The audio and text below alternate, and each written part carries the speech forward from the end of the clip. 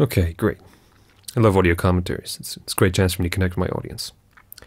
Apparently, even big stars like us need passports to get into France. So, uh, we got some passport photos taken in a little studio I used to use for my acting headshots. This is a great machine, it always makes me look great. My fans, uh, they tend to get a bit overexcited when they see me, so I went in first, in case I had to skip out early to avoid a stampede or something. Ready? Okay. Here we go. the fans, they can just get crazy sometimes. So, uh, I love this part waiting for the photos, and then, you know.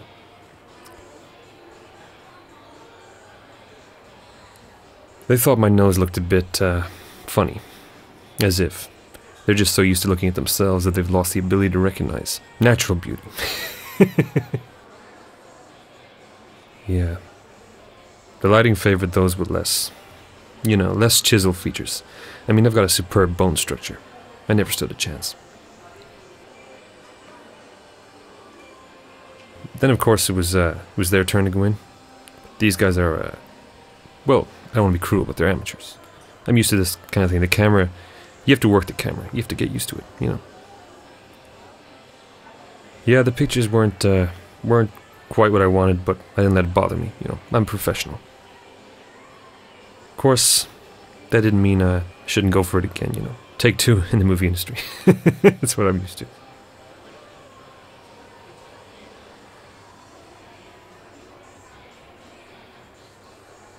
They weren't quite what I wanted either, so uh, I moved on. You gotta move on.